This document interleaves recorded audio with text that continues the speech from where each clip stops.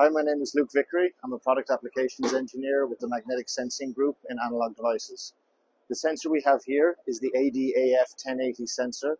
It's a magnetic field sensor capable of measuring a wide range of plus or minus 8 millitesla. Particularly here, we have some applications of the sensor for contactless current measurements. So it's an unobtrusive, robust design with a high degree of accuracy over DC and AC measurements up to 2 megahertz. So for example, here we have a reference design for a current clamp meter using multiple ADAF 1080 sensors in a ring configuration. Here we see that ring configuration with six sensors. This configuration gives good resilience to nearby stray field generators and ro robustness versus wire placement uncertainty in the center of the ring.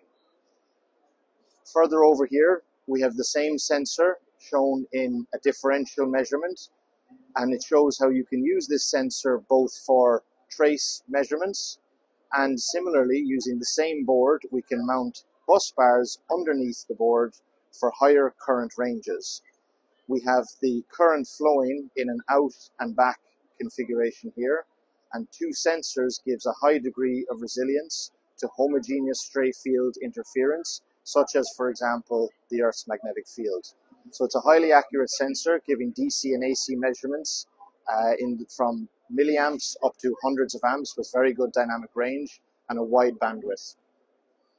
So thank you for taking the time to have a look at the ADI Magix ADAF 1080 sensor.